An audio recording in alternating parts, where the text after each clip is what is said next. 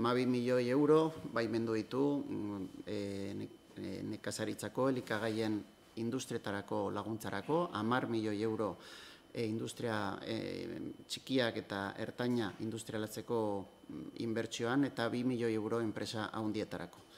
Nafarroko gobernuak hori adostu du gaurko saioan, industria sektorera bideratuko ditu niru laguntza pakete sustatzeko, beharrezkoak diren urtean hitzeko gastu konpromisoak eh, esan bezala baimentzea derrigorrezkoa zen.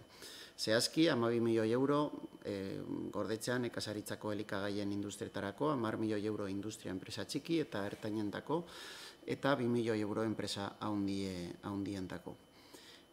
Helburua da inbertsio industriala sustatzea, sektoreen azkunde iraunkorra lehiakortasuna eta foru erkidegoan kokatutako enpresen enplegu sorrera bultzatzea. Esan bezala, deialdien oinarriak 2024 lau bukatu baino lehen argitarakutuko dira Nafarroko aldizkari ofizialean eta eskariak egiteko epea 2025ko urtarrilean irekiko da.